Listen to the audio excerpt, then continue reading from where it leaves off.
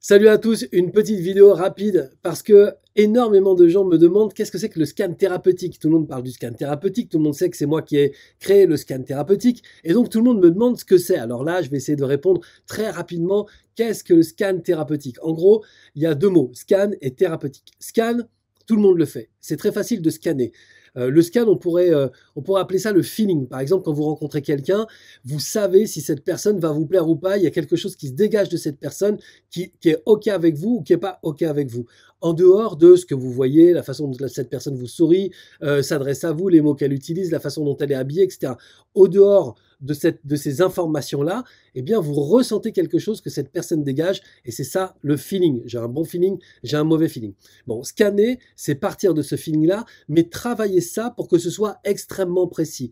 On arrive à savoir effectivement l'énergie générale de la personne, mais aussi très précisément l'énergie de son corps, de ses fonctionnements, des informations qu'elle traîne avec elle. Donc son corps, par exemple, ça peut être euh, ressentir l'énergie, comment elle circule euh, dans la colonne vertébrale, dans l'ossature, dans les muscles euh, et dans les organes principaux, par exemple le cœur, le foie, les poumons.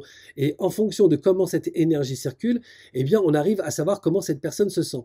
Et puis après, il y a aussi les fonctionnements, sa relation aux autres, sa contribution, c'est-à-dire sa relation au travail, sa relation à l'argent, euh, sa transmission, qu'est-ce qu'elle a récupéré de la petite enfance. En fait, quand on va chercher le scan et qu'on travaille vraiment le scan profondément, on arrive à avoir énormément d'informations sur les gens. Ça, c'est le scan. Après, pourquoi il est thérapeutique? En fait, c'est simple, c'est qu'on va se servir des informations qu'on reçoit, c'est-à-dire le corps qui nous parle, l'énergie qui nous parle, les fonctionnements qui nous parlent, et on va essayer de proposer aux personnes eh bien, des portes de sortie, c'est-à-dire des façons de sortir des problématiques qui rencontrent dans leur vie.